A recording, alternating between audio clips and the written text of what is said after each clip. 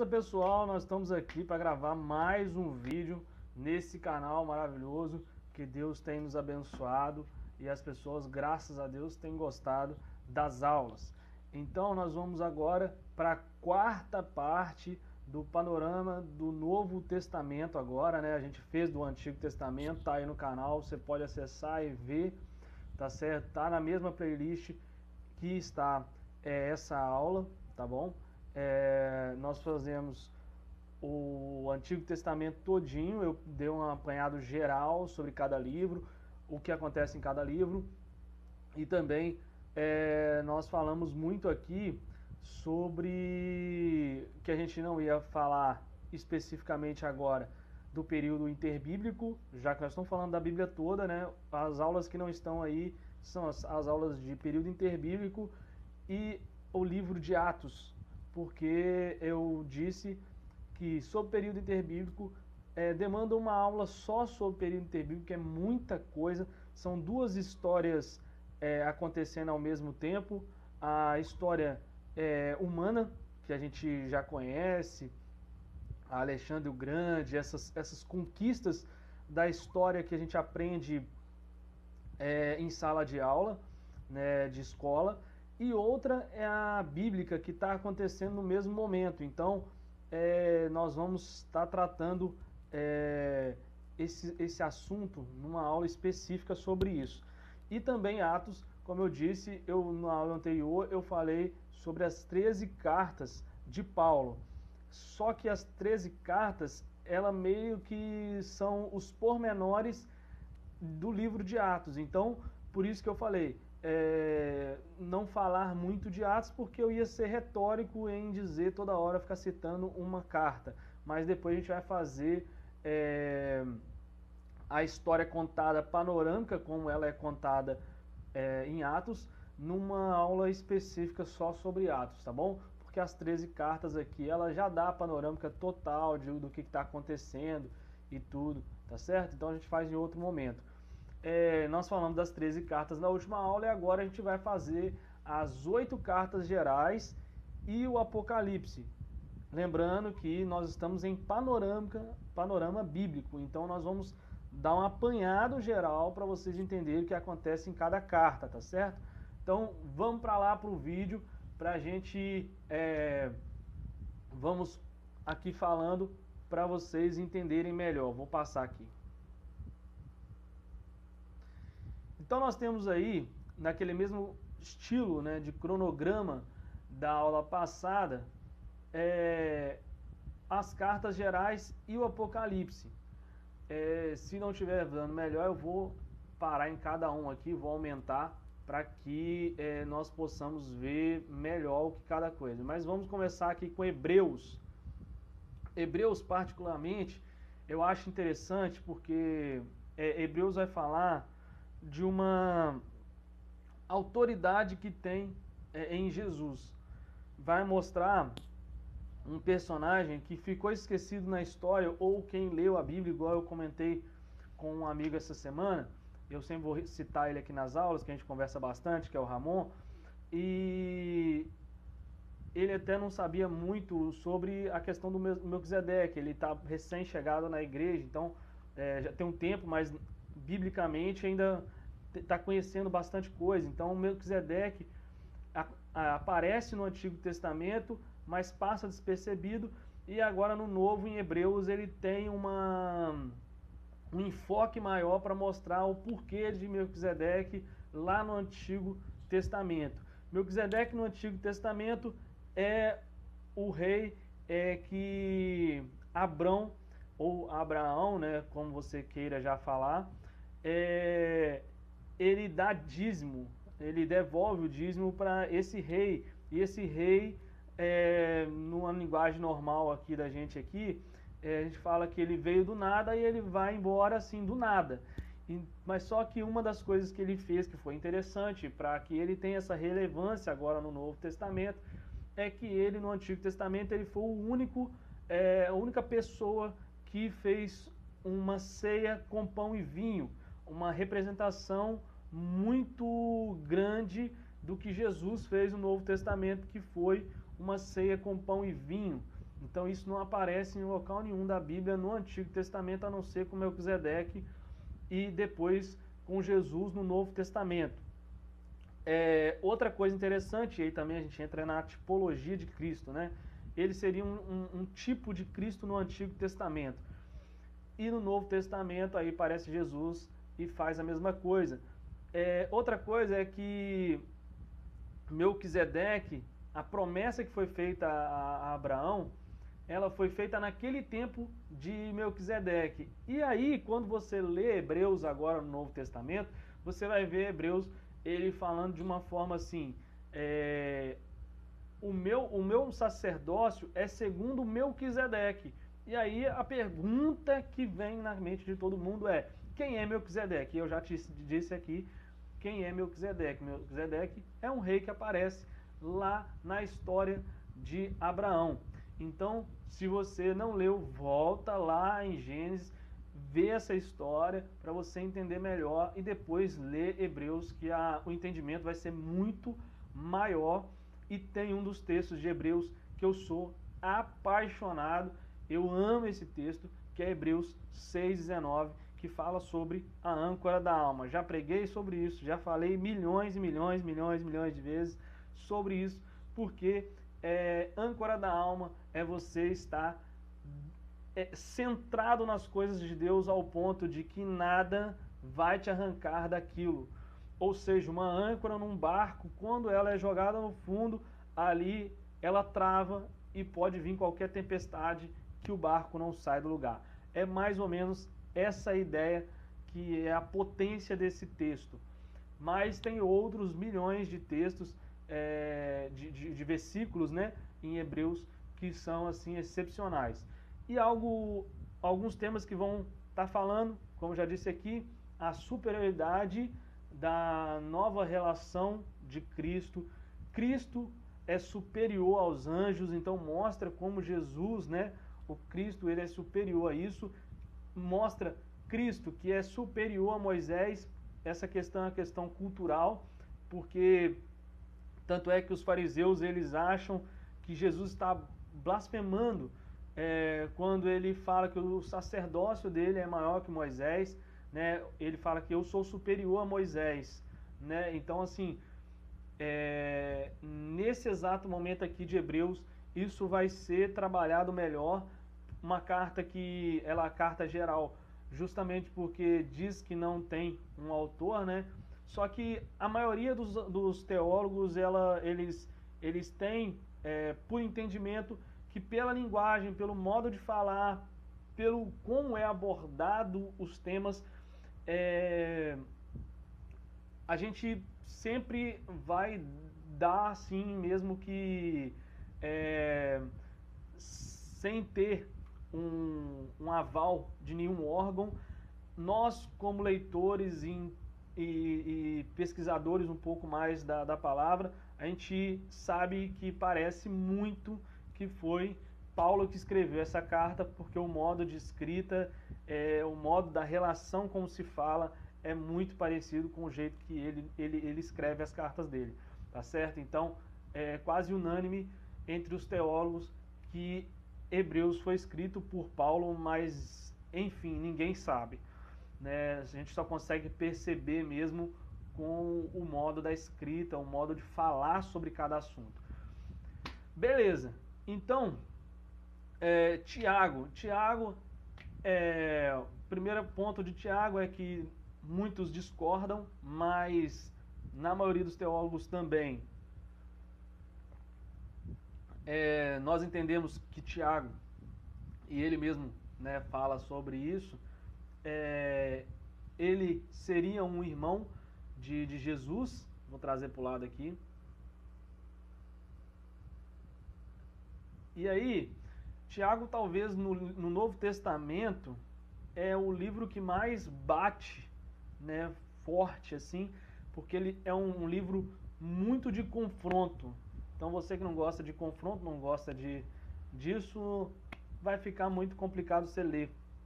Mas vai falar, é, alguns pastores mais tradicionais gostam desse livro porque fala da fofoca, né, de, de, da língua, né, de você falar demais. Então, tem vários estudos que você pode tirar disso. Mas fala também de provações e tentações, é, ah lá, ouvindo e colocando em prática. Então, não só ouvir, não só ir no culto e, e, ir ali por ir, tem que ir ouvir e tentar praticar o máximo daquilo que você está é, adquirindo ali, que é a palavra. A acepção de pessoas, fé e obras. Aí aqui tem um embate muito bacana que a gente pode fazer uma outra aula só sobre isso. É, é, Paulo ou Tiago, quem está certo? Né? A gente, depois a gente faz alguma coisa nesse sentido. Mas tem vários assuntos assim que são bacanas de, de, de tratar assim, entre Tiago e, e Paulo. E outras tantas, é, tá lá, como eu falei, dominação de língua, é, dois tipos. Vamos, vamos, vamos, vamos voltar um pouquinho aqui para. Opa! É, dois tipos de sabedoria, submissão de Deus. Então tem várias coisas. A gente vai passar para Pedro, primeiro Pedro. O interessante de primeiro a Pedro aqui é do livro em si, do, do livro escrito ou da carta, como melhor queiram aí. Já fiquei nessa bagunça da semana da, da, da, da, da aula passada aí, de carta, livro, carta, livro, carta, livro. Beleza, teólogo, é carta. Mas para todo mundo que eu falo aqui, é mais pessoas que é, não têm ainda tanto entendimento bíblico. Então, vamos colocar só como livro em si, tá? É, historicamente dizendo. O livro de Pedro, de 1 Pedro, é, tem uma narrativa, são cinco capítulos e, e ele é o maior né, de primeiro e segundo Pedro, porque é, o que a gente sabe é que primeiro Pedro foi um escriba, ele foi ditando por, escriba, e aí sim é, o escriba por ter mais vamos não é cultura, né? é, a pessoa que é mais letrada, ela sempre tem mais conteúdo, ela sabe, sabe, sabe escrever mais coisas, preencher mais coisas e depois esses esquivas. E o segundo Pedro é, foi ele que escreveu, então, pela questão de conteúdo, por isso que acaba que primeiro Pedro fica, ficou maior do que segundo Pedro, porque esse Pedro é o Pedro pescador, tá certo? Então, é, ele não era tão letrado e aí tem essa, essas informações aí que a gente consegue extrair e saber por que aconteceu isso, tá bom? É, outra coisa é, que ele vai falar muito sobre, ali está escrito ali, na, na, nessa, nesse, nesse slide que você está vendo aí, ó, exortação à santidade, submissão à autoridade, né, é, sofreu por fazer o bem, é, são coisas que sofrer por fazer o bem são coisas que você vai conseguir reparar é, olhando o livro de segundo Pedro aí, tá certo? O primeiro Pedro e segundo Pedro nós vamos ver também essa certeza dessa nova vocação e é interessante, para quem é novo convertido, primeiro Pedro é excepcional, o capítulo 1 é, é muito bacana para isso, para você entender sobre conversão, sobre estar em comunhão com Cristo, é muito bom, tá? É, vamos lá para João. João, nós temos aí é, também o mesmo estilo, nesse mesmo significado de 1 Pedro e 2 1 Pedro e 2 Pedro ali, 1 João, 2 João e 3 João aqui, nesse, nesse caso, é, nós temos uma, uma, particularidade que é a, a seguinte. É, ambos, né, ambos é, seria dois, né? Os três, os, as, tuas, as três cartas, elas vão ser muito pequenas. A primeira um pouco maior, mas mesmo assim pequenas demais. Então, quem quer ler Bíblia, essas cartas gerais aí, a, a, tirando um pouco Hebreus, que são que é um pouco maior, mas a, a primeiro Pedro, segundo Pedro, primeiro João, segundo João e terceiro João e Judas, vão colocar as, essas cinco cartas, você lê assim, num tapa, porque é uma página da Bíblia praticamente, primeiro, segundo João e terceiro João ali, primeiro João um pouquinho maior, mas assim, você lê muito rápido e são conhecimentos muito grandes ali para você. É, João é o João filho de Zebedeu, tá certo?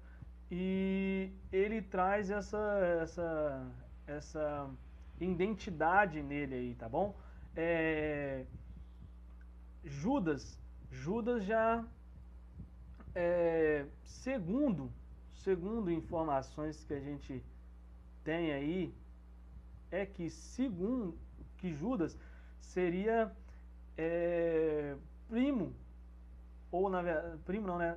Irmão de Tiago. E esse Tiago seria Tiago, irmão de Jesus. Então, logo, Judas também seria é, irmão de, de Jesus.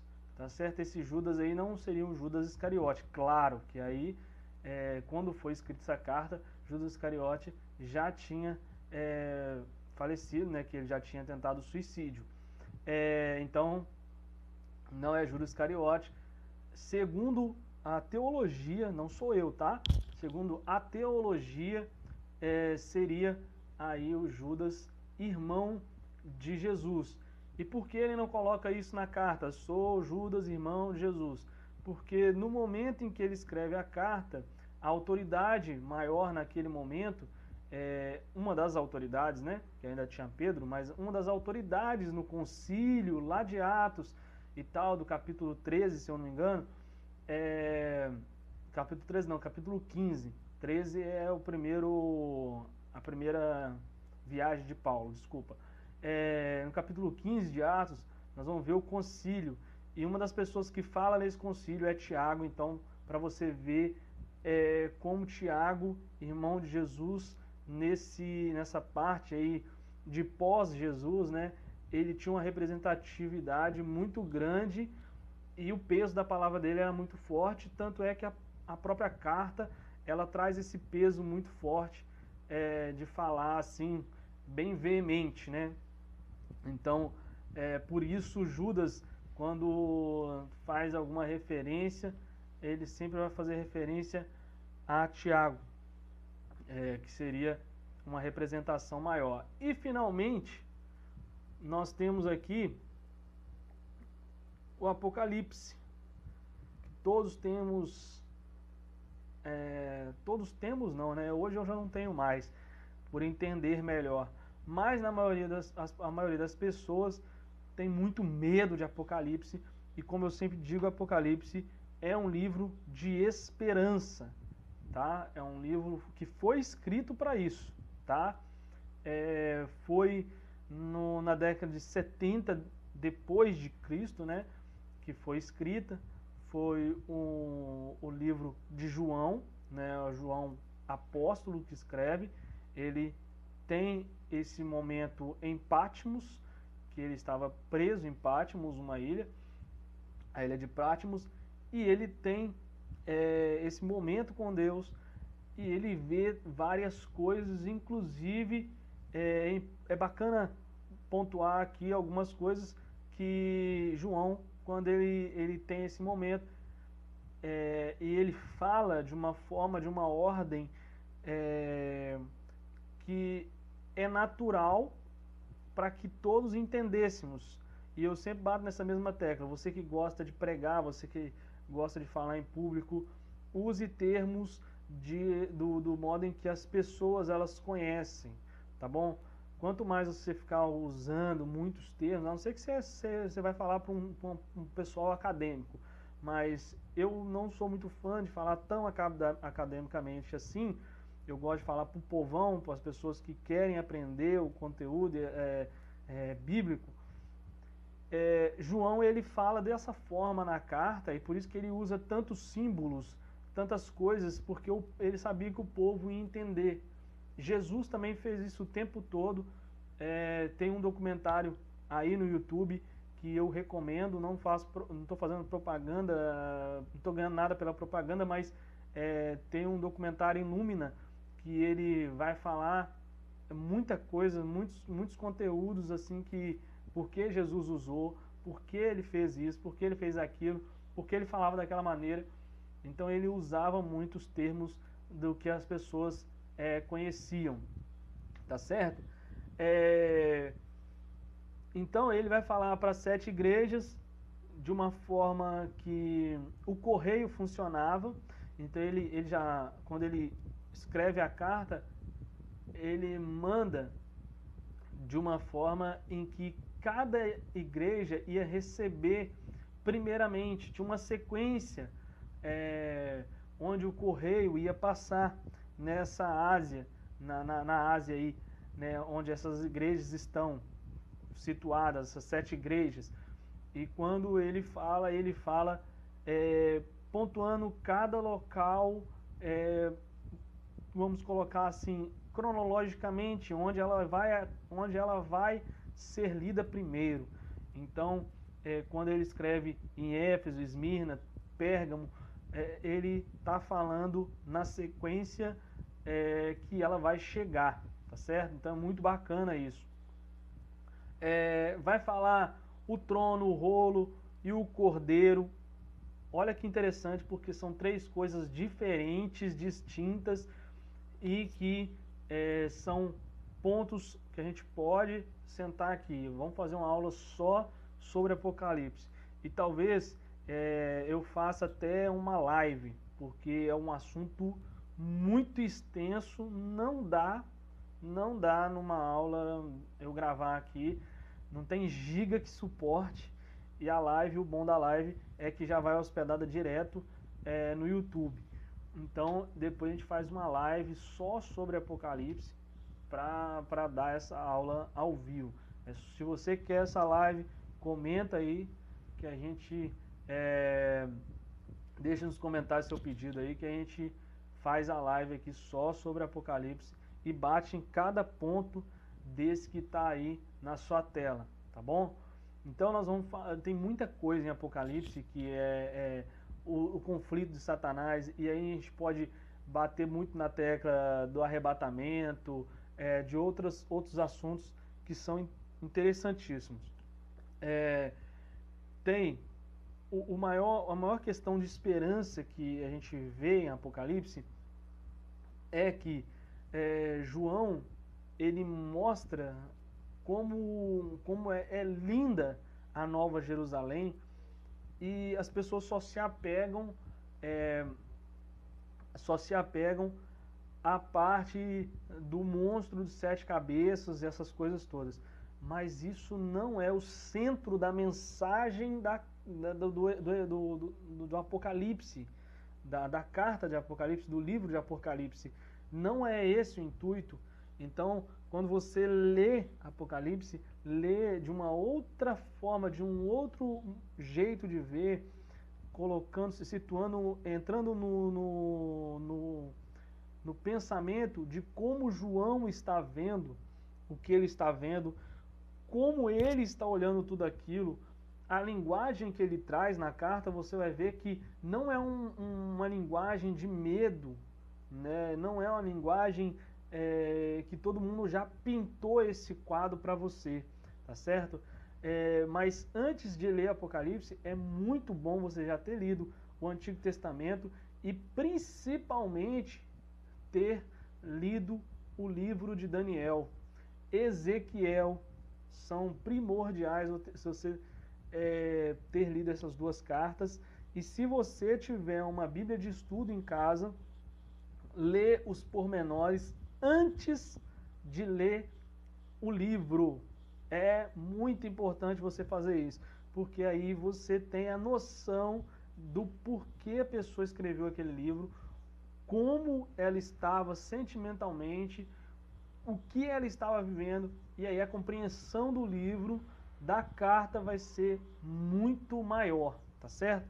Então fica essa dica para vocês. Eu vou encerrando por aqui, senão o vídeo vai ficar imenso, mas é, eu acho que deu para passar bastante de tudo, um pouco. tá? Isso aqui é só um panorama, então eu não entrei em nenhum detalhe assim muito, muito, muito específico, tá certo? É, mas é, a gente consegue pegar muitas coisas e ficou na tela aí também para você estar tá copiando, anotando essas coisas que estão na tela aí, tá bom? Então um grande abraço a todos vocês, é, não esquece que eu não falei nenhuma vez no vídeo aqui, mas não esquece de curtir né? Ou seja, dá seu like que está aqui embaixo, esse joinha maneiro, dá esse joinha aí, compartilhe com seus amigos, que agora nós temos um canal de estudo na internet. É, dá, escreve no canal, escreve no canal, tá aí. E não se esquece, não se esquece de forma alguma de se inscrever, de compartilhar, de curtir.